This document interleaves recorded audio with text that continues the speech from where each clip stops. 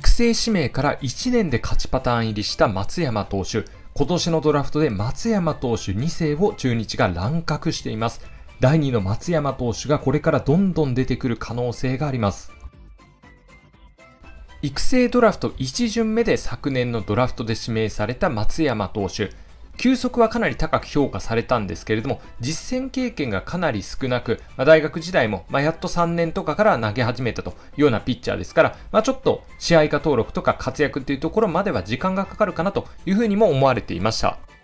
ただキャンプから3者連続の奪三振とか、まあ、こうしたアピールっていうのを見せて、2軍でも高騰を続けて試合化登録を勝ち取るという流れになりました。最初は1軍では敗戦処理からのスタートだったわけなんですけれども、終盤は1軍でも勝ちパターンに入るまでに評価がアップしました。2023年は36試合の登板で1.27の防御率、35.1イニングで四死球が20個、奪三振率12.7、被打率1割8分クリンという成績です。セットアッパーとして、まあ、これだけの高い奪三振率、そして被打率も低いということですね、まあ、相当な安定感というのが見られました。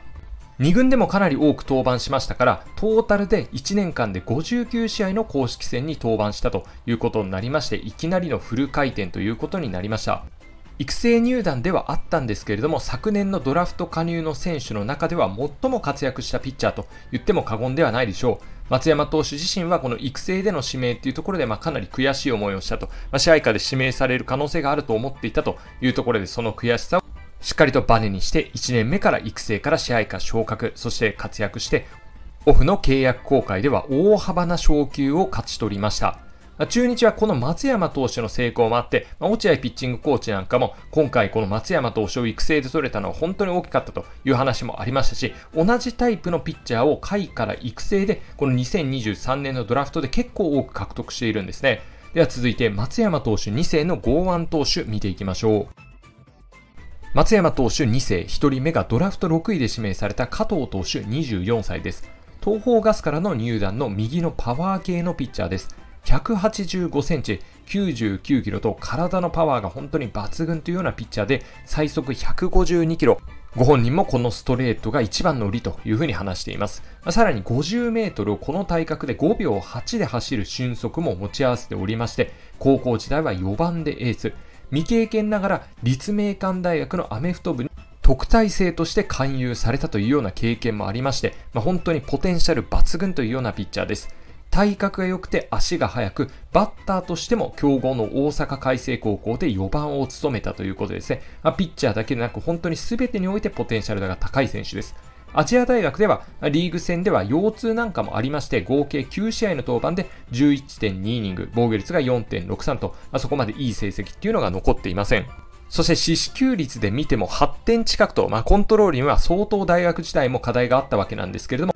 それでもプロのスカウトが注目していたぐらいやっぱりもう馬力そして体格ポテンシャルこの辺りが評価されていました。そして社会人でも公式戦ではリリーグピッチャーとしての登板がメインなんですけれども、被打率、予支給率ともに高めで、まあ、そこまで実績が残っているというようなピッチャーではありません。このあたりが下位指名の要因で、まあ、松山投手も大学でそこまで実績残っていなかったけれども、ポテンシャルが評価されたという点では、かなり共通点もありますね。松山投手と同様にフォークを投げるというのがこの加藤投手で、このボールの精度の向上に努めていると、ストレートをより活かすためにフォークをもっと磨いていきたいというふうにも話しています。支配下登録ではあるんですけれども、完全にポテンシャル型の選手で大化けを期待したいということで、松山投手のような飛躍期待したいと思います。では続いて、高校ベンチ外から指名された松山投手2世、こちらも見ていきましょう。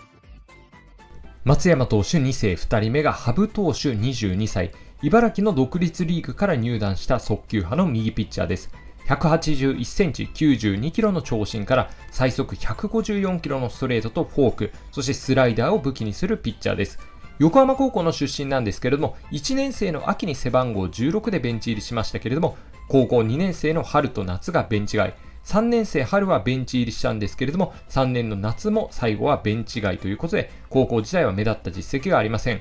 高校通算では公式戦2試合の登板に終わりましたけれども、引退試合で144キロを記録したということで、やっぱり横浜高校の中ではベンチに入れないというようなピッチャーでも、相当なポテンシャルを秘めている選手がいると、それぐらいの層の厚さですね。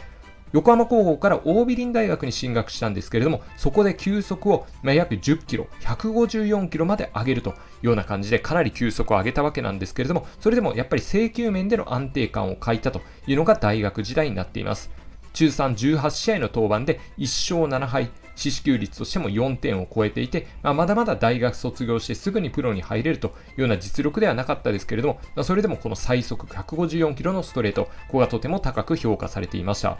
独立リーグを1年経てプロ入りしたわけなんですけれども、この独立リーグでも2023年、防御率としては4.36、四死球率としては6.27ということですね。まあ、防御率も比較的高く、コントロールも荒れている。そして被打率としても結構高い数値になっておりまして、高校でも大学でも、そして独立リーグでも抜群の成績を残したというようなピッチャーではないんですけれども、やっぱりこのストレートが評価されて、ポテンシャルを評価されて指名されたというピッチャーです。ストレートとフォーク、そしてスライダーを武器にしていて、これだけ、まあ、成績としては良くないんですけれども、奪三振率が高くて、まあ、奪三振数がイニングを上回るというような感じになっておりまして、このあたりも松山投手にちょっと似ている部分がありまして、覚醒期待したいと思います。では続いて、育成でも松山投手2世の剛腕が入団しているということで見ていきましょう。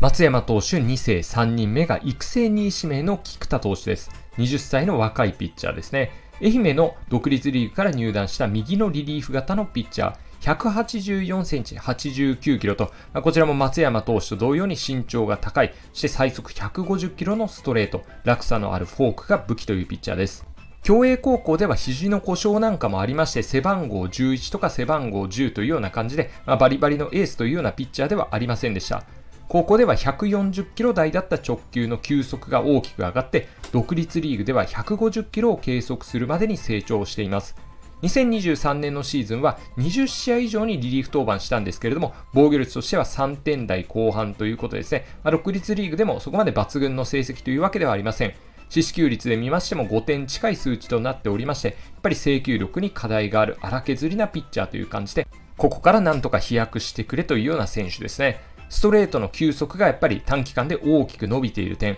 まあ、このあたりっていうのが今後成長を期待させますね。そして落差のかなり大きいフォーク、こちらが魅力で、脱三振率も高く、まあ、セットアッパーとして期待できるような選手ということですね。まあ、育成指名でパワー型の右腕、そして長身、落差の大きなフォークが武器ということで、本当に松山投手に似ている部分っていうのがかなり多いですし、こうした活躍っていうのを期待したいピッチャーですね。一点松山投手とちょっと違う部分としては、松山投手ももともと制球力大学の時苦しんでいたんですけれども、3年生以降は制球力が大きく改善しているんですね。ただ今回指名されたピッチャーはどの投手もまだ制球力にちょっと苦しんでいるというような段階になっていますので、まあ、このあたりをどれぐらいプロに入ってから修正できるか、ここが松山投手のように飛躍できるかどうかの分かれ道になってくると思います。以上です。